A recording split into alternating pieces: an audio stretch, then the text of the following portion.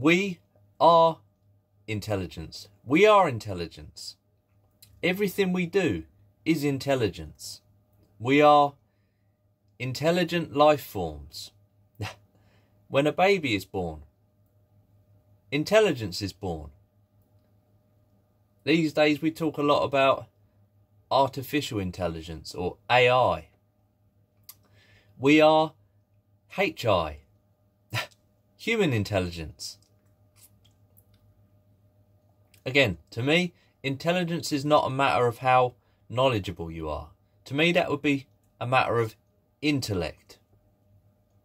We are intelligence because we are alive. The moment we die, intelligence dies. This plastic tub, which I keep my magnesium in, this plastic tub is not intelligence. If it was to suddenly come to life, that would mean it had, it had become intelligent. does it? Does anybody see all this?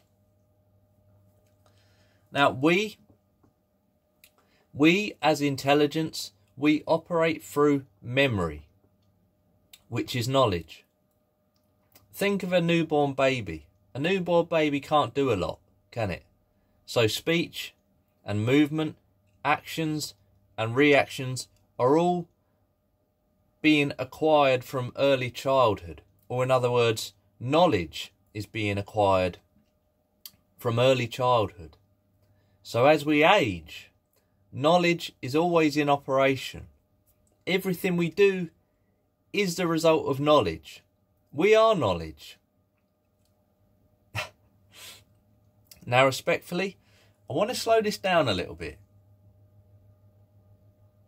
Not sure what that has to do with slowing things down, but I want to slow this down a little bit without being condescending. So, look, we are the brain. The brain is intelligence. So we are intelligence. The brain is perception. So we are perception. Thought, thinking is an activity of the brain. So we are thought. Now, conventionally, we think that we are separate from our thoughts. But that in itself is the conclusion of thought. We think we are separate from our thoughts. Does anybody see that? so to put it simply, to wrap to wrap it up and put it simply, you are your brain, and anything that goes on within the brain is you. now look, just because I say you are your brain of course, in no way am I denying that you are your body too. So, of course, anything that goes on within the body is also you. The brain and the body combined is a human being, which is what we all are. Now, obviously, the the body, the skeleton, the body, however you want to say it, the body houses the brain. So anything that physically happens to the body affects the brain. the reason I'm highlighting this statement, you are your brain, the reason I'm exaggerating that statement is for the fact that everything which makes you you stems from your brain in the sense that major organs can be transplanted. And you can still be you. Limbs can be lost, unfortunately, in accidents. And you can still be you, minus limbs. You understand what I'm saying? But if the brain is damaged, if the brain is removed, there's no you.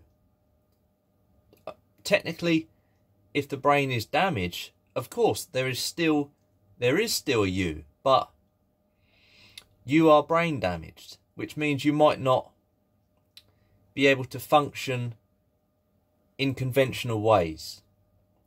Does, does anyone see all this? So look,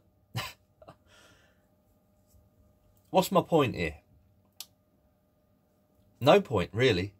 I'm simply just describing this fascinating, intelligent thing which we call a human being, which is what we are.